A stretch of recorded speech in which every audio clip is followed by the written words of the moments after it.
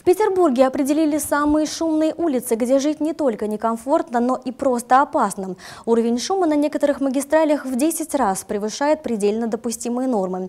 Рейтинг возглавляет небольшая Запорожская улица в Невском районе. Опасность для здоровья жителей возникла после открытия участка кольцевой автодороги в этом районе. Кубинская улица вторая в шумном рейтинге. Жилые здания находятся здесь всего в 14 метрах от кромки проезжей части.